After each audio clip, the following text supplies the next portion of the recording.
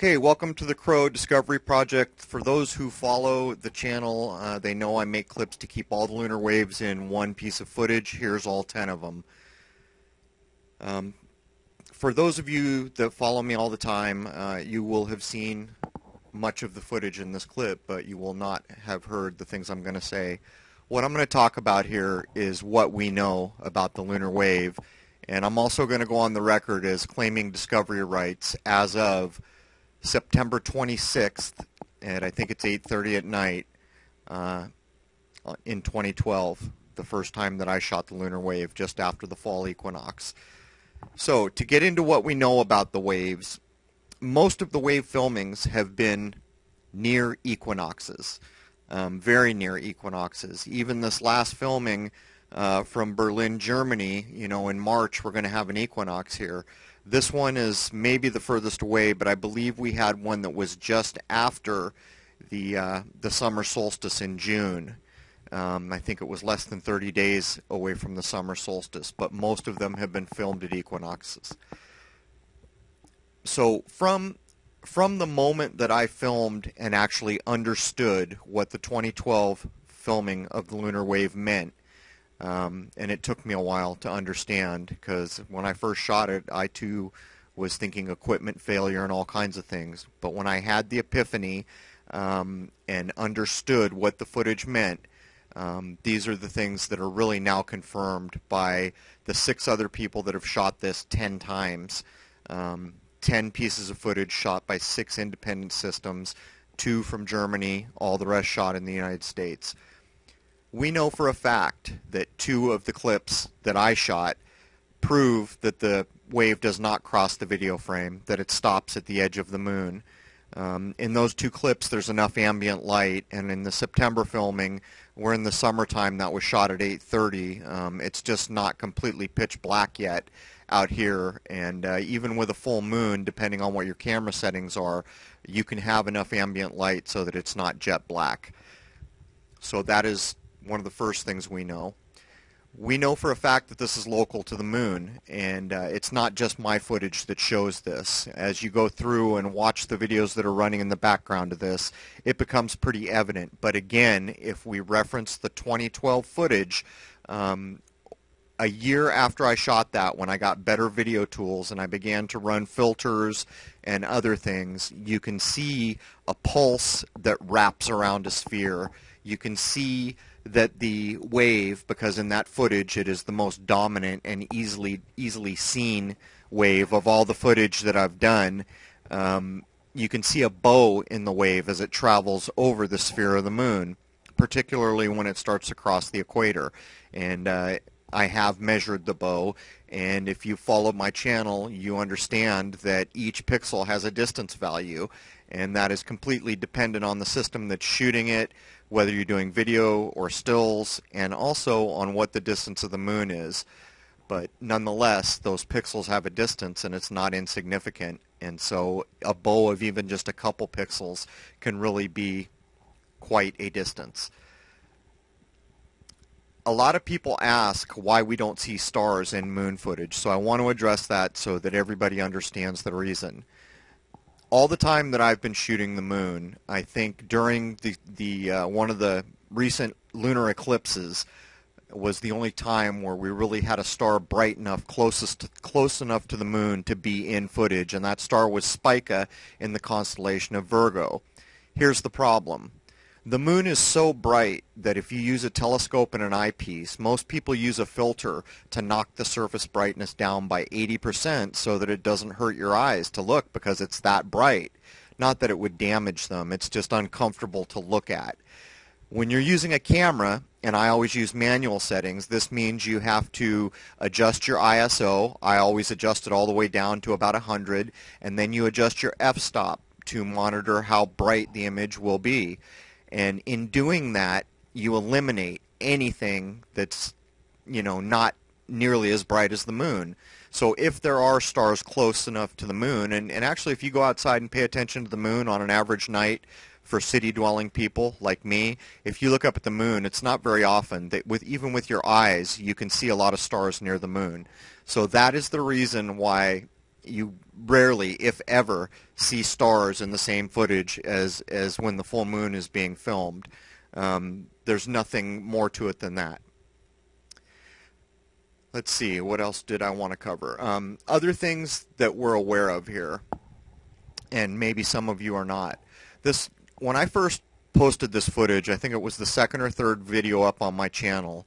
Um, I didn't even have traffic or any number of subs. I mean, I was brand new out of the gate, and almost immediately I was being contacted by observatories, and uh, these people were going off on me, telling me how unscientific and unprofessional I was for posting this and suggesting anything about it.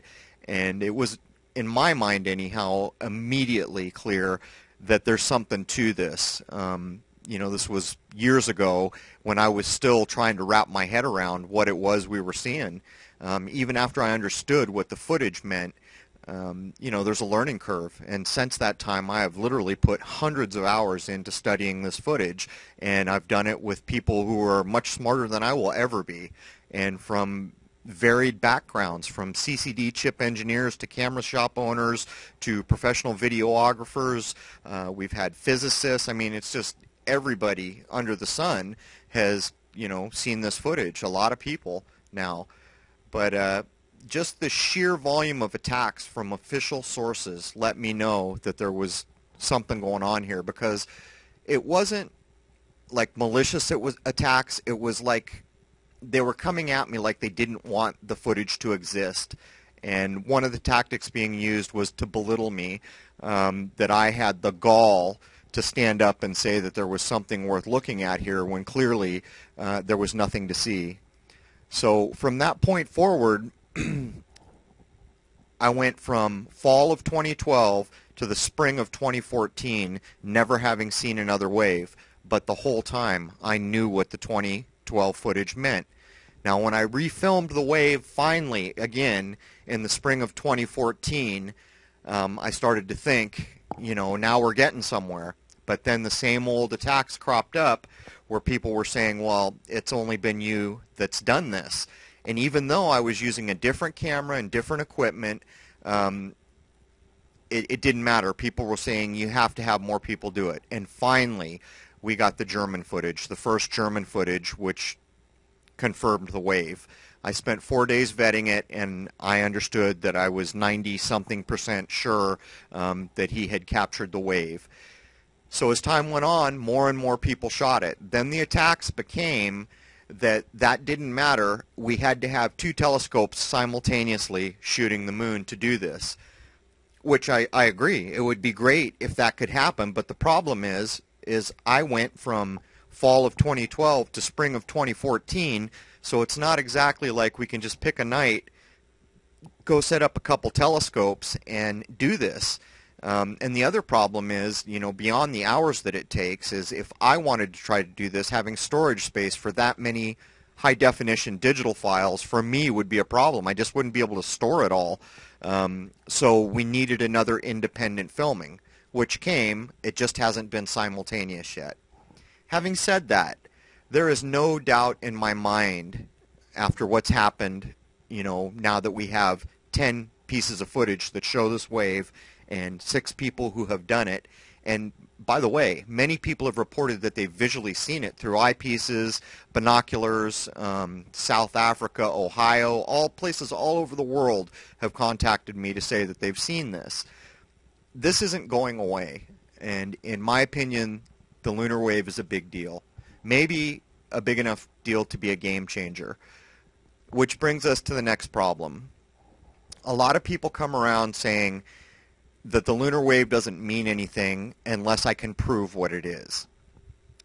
The problem with this is um, I can't prove what it is with the evidence that I have. I have strong suspicions, and I have broached those suspicions in conversations and in videos, but what I'm doing is showing you videoed evidence of something that should not exist, that is not being acknowledged by observatories or space agencies or anyone else, eh, well, with the exception of one. One gentleman in, uh, I can't think, it might have been Norway, I apologize if I got that wrong, somewhere around there, I believe, got an observatory to respond, and uh, they knee-jerked out a response that it was clearly atmospheric, which means they didn't look at the evidence because two of the clips demonstrate that the wave does not cross the video frame.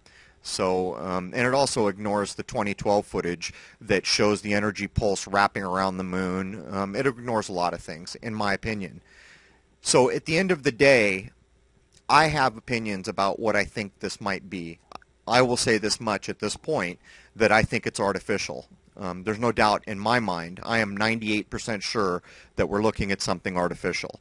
And part of the reason I base that is just because of all the hundreds of hours I've put into looking at these the footage of these waves. But if it was a natural event, it seems very unlikely to me that it would not have already been recorded many times, explained in textbooks, and be a known thing. And yet it doesn't seem to be a known thing, a recognized thing, or even anything that people in official positions will look at in a serious way because to date what we've got is just short terse answers uh, about it being atmosphere equipment. Of course people would not let go of the equipment malfunction and that completely ignores the very first video which is also backed up by the last footage shot in, in Berlin the camera pan in the Berlin footage proves exactly what the 2012, the first filming proved. That camera pan proves beyond a shadow of a doubt in a bulletproof way that equipment plays no role in the manufacture of the wave. It's just not possible. Um, and the camera pans prove that.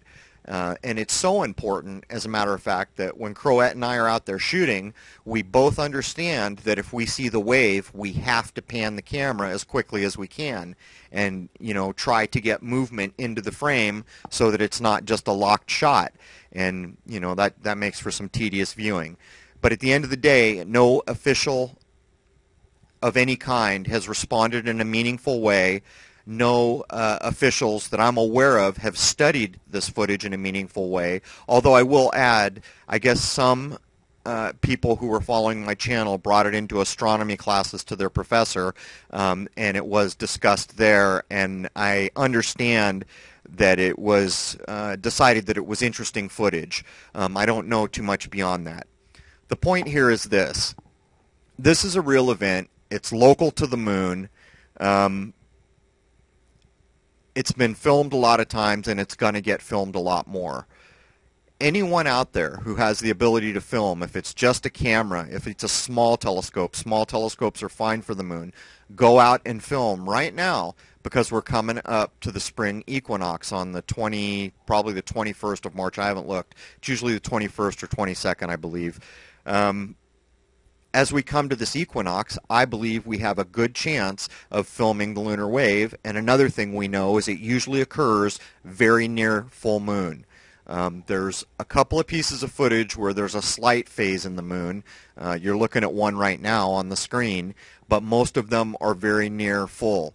So if you have the ability to film, even if it's only for 10 or 15 minutes, um, just you know, there's 20,000 people that are subscribed to this channel. If even a fraction of the people here go out, you know, on any given night and just film for a few minutes, we might get quite a bit of footage stacking up. And that would really push this further because at some point, it won't be ignorable anymore. Um, I don't know whether that's after 20 people have filmed it or we have 100 clips. I have no way to know, but at some point, it, you know, someone's going to have to step up and talk about this.